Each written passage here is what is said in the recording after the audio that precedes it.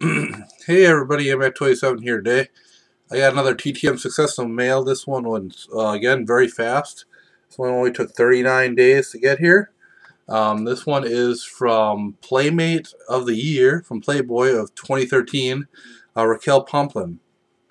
I uh, saw success here from Jeffrey uh, Dingray, and I thought I'd try her. Um, great success. Again, very super fast. I can only show two photographs, though.